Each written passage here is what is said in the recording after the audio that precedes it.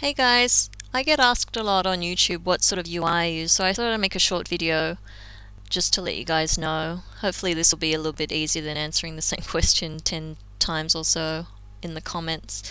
So first things first, the add-on's name is Spartan UI and it works in conjunction with Bartender 4. Bartender 4 is actually a rewrite of all the action bars in the game, meaning that you can customize it however you like. But seeing that it's already written to work with Spartan, you really don't need to do any customization. First of all, go into Interface, Add-ons, and then to configure the scale, which is especially good for widescreens like this one here, you just click that and it will just make the bar a little bit narrower. Uh, next thing I like to do is go to General Action Bars and toggle off these two bars which actually hides the background boxes here. Looks especially nice when you don't actually use all of the slots.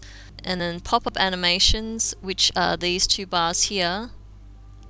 I actually don't like the way that it toggles so I normally leave them showing 100% um, of the time. So that's very easy to fix, just uncheck these two boxes and once again I, I like to hide the backgrounds so just select 0 for both of those settings. And then the last thing that I normally do is to uncheck the spin cam which is basically what you would see when you go AFK. Generally just spins the scene around wherever you are. Um, I can illustrate that here or demonstrate just by doing that you can as you can see you can just manually do it yourself toggle it on and off whenever you want to.